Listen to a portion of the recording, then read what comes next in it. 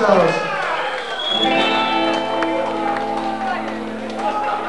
Talking about drinking, if there's anyone I'm really close to who can stand me a bottle of Guinness, now is the time.